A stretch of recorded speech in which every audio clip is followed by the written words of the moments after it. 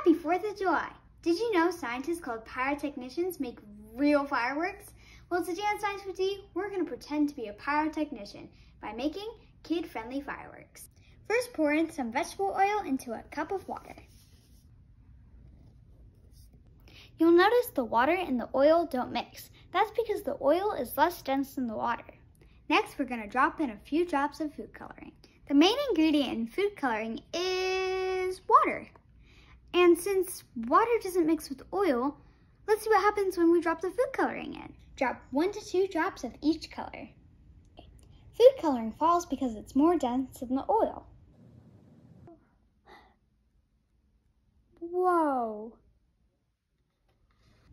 Once the food coloring hits the water, it's able to disperse, and it makes a beautiful fireworks show. Try it at home and have fun learning. Bye!